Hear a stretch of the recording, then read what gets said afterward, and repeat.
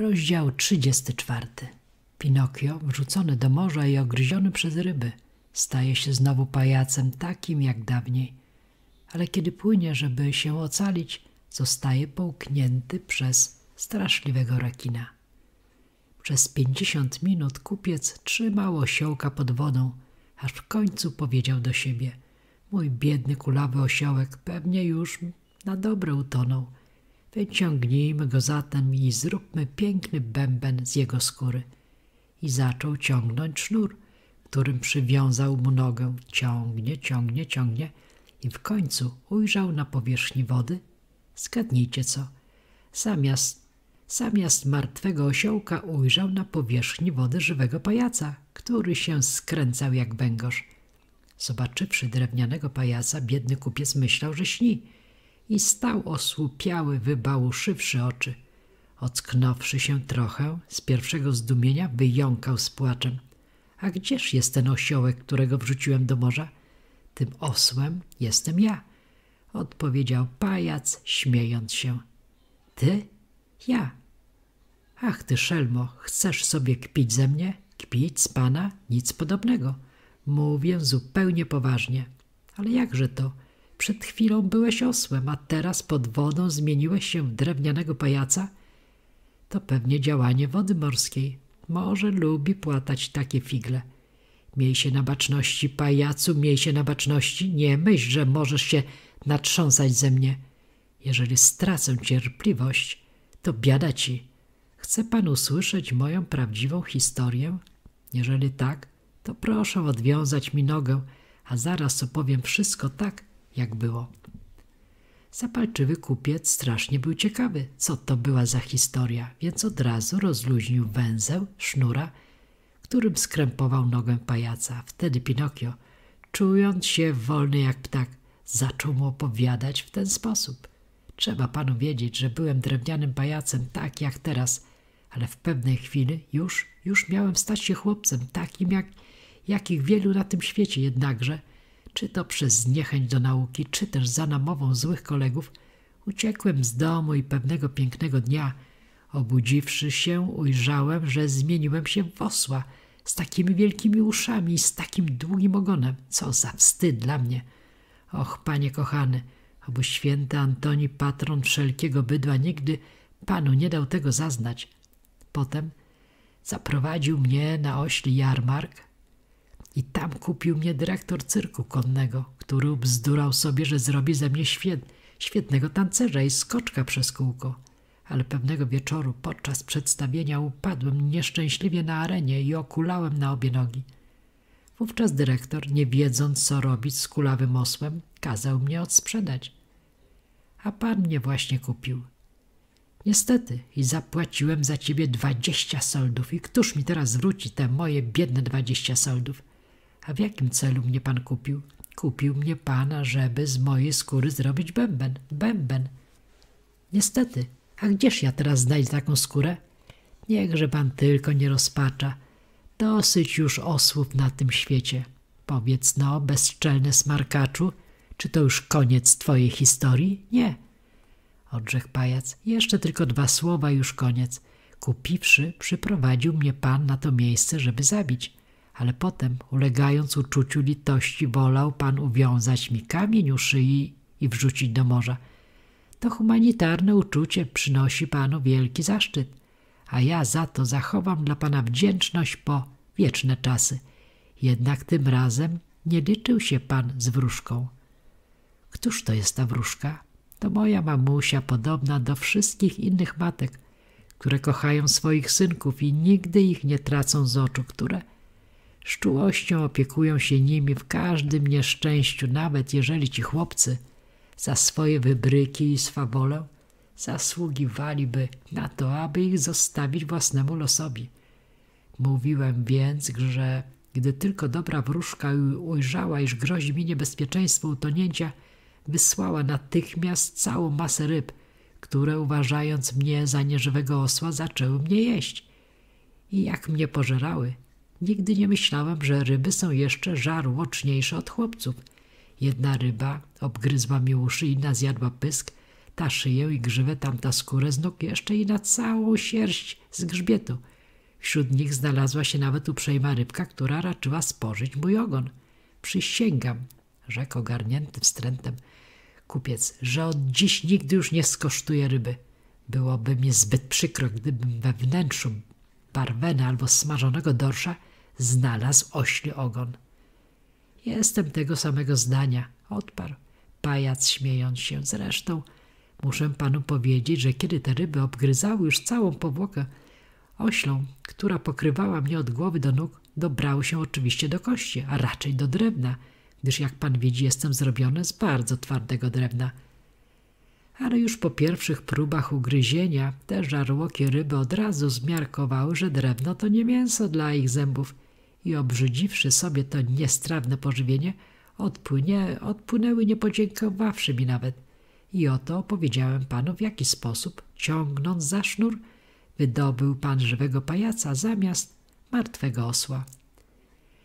Śmiać mi się chce z tej twojej historii, krzyknął rozzłoszczony kupiec. Wiem, że wydałem na ciebie dwadzieścia soldów i muszę je odzyskać. Wiesz, co zrobię? Zaniosę cię z powrotem na targ i odsprzedam na wagę suchego drzewa, dobrego na opał do kominka. Niechże mnie pan odsprzeda. Bardzo, bardzo mnie to cieszy, rzekł Pinokio. Ale mówiąc to, skoczył ślicznie i plusnął w wodę. Płynąc wesoło i oddalając się od brzegu, wołał do biednego kupca. Żegnaj, mój nabywco. Jeżeli będzie pan potrzebował skóry na bęben, proszę pamiętać o mnie. I znowu śmiał się i płynął. Po chwili odwrócił się i krzyknął głośniej. Żegnaj, mój panie nabywco. Jeżeli będziesz pan potrzebował suchego drzewa do palenia na kominku, proszę pamiętać o mnie. W okamgnieniu był już daleko że prawie nie było go widać, a raczej widać było tylko mały czarny punkcik, który od czasu do czasu wyrzucał nogi nad wodę oraz skakał i przewracał koziołki, jak delfin, przystępie dobrego humoru. Gdy tak płynął na los szczęścia, ujrzał pośrodku morza skałę, jak gdyby z białego marmuru, a na szczycie tej skały piękną kuskę, która beczała czule i dawała mu znaki, żeby się przybliżył – ale najdziwniejsze było to, że sierść kuski nie była ani biała, ani czarna, ani też czarne i białe plamy jak u innych kus, lecz jasno-błękitna, przypominająca barwą włosy ślicznej dzieweczki. Wyobraźcie sobie sami, jak silnie zaczęło bić serce Pinokia.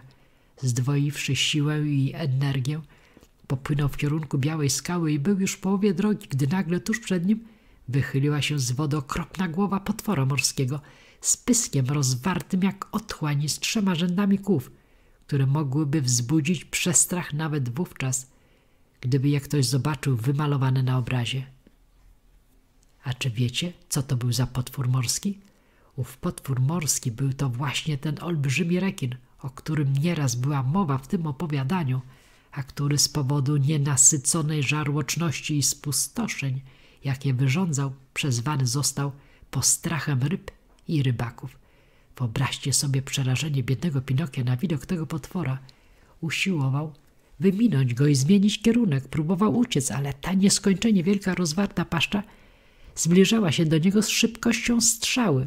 Prędzej Pinokio na miłość boską spiesz się, wołała becząc piękna kuska, a Pinokio płynął, poruszając rozpaczliwie ramionami, piersiami, nogami sto, i stop, stopami. Prędzej Pinokio na miłość boską spiesz się, wołała a Pinokio, zbierając wszystkie swoje siły, podwoił szybkość, z jaką uciekał.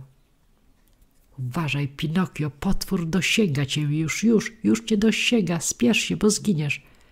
A Pinokio płynął jeszcze, jeszcze, jeszcze szybciej, szybko jak wystrzelona kula.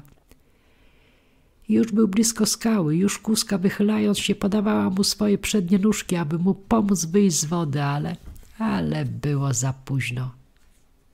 Potwór dosięgnął go, wciągnął oddech i połknął biednego pajaca, jak gdyby połykał kurze jajko, a w dodatku połknął go tak gwałtownie i z taką chciwością, że Pinokio wpadając w głąb cielska rekina uderzył się tak nieszczęśliwie, że przez kwadrans leżał oszołomiony. Kiedy oprzytomniał z przerażenia, sam nie wiedział, co się stało. Nie wiedział, gdzie się znajduje. Dokoła niego panowała ciemność, ale ciemność tak głęboka i czarna, że zdawało mu się, jak gdyby wpadł do kałamarza pełnego atramentu. Nadstawił ucha, ale nie usłyszał żadnego dźwięku. Tylko od czasu do czasu czuł na twarzy silne podmuchy wiatru. Z początku nie domyślał się nawet, skąd ten wiatr wieje, ale potem zrozumiał, że ten wiatr wychodzi z płuc potwora – bo trzeba wiedzieć, że rekin miał ciężką astmę i kiedy oddychał, wydawało się, że to dmie wiatr północny. W pierwszej chwili Pinokio dodawał sobie odwagi, ale kiedy przekonał się na dobre, że jest zamknięty w cielsku potwora morskiego, wówczas zaczął płakać i krzyczeć na pomoc, na pomoc, o ja biedny, czy nikt nie przyjdzie mi z pomocą? A któż cię ma ocalić, nieboraku? Odezwał się w ciemności jakiś ochrypły głos, który brzmiał jak rozstrojona gitara.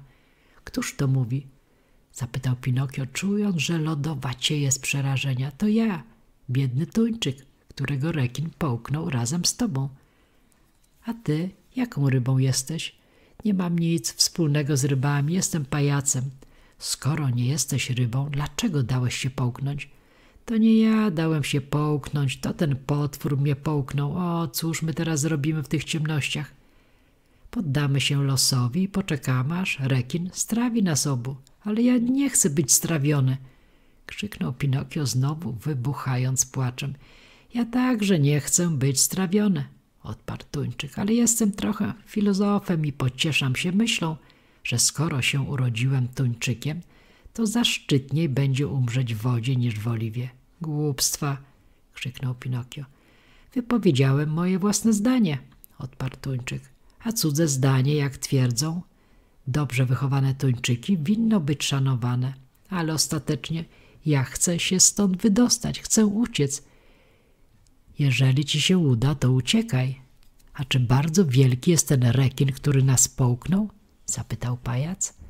Wyobraź sobie, że jego ciało ma kilometr długości, nie licząc ogona. W czasie, w czasie tej rozmowy w ciemności wydało się nagle pajacowi, że z daleka, z daleka dostrzega jakąś jasność. Co to za światełko? Co tam z daleka migoce? To pewnie jeden z naszych towarzyszy niedoli, który tak jak i my oczekuje chwili, kiedy będzie strawiony. Pójdę go szukać, kto wie – może to jakaś stara ryba, która mogłaby mi wskazać drogę do ucieczki? Życzę ci tego z całego serca, mój drogi pajacyku. Żegnaj, tuńczyku. Żegnaj, pajacu. Oby ci się powiodło. Gdzie się spotkamy? Kto tam wie? Lepiej o tym nie myśleć.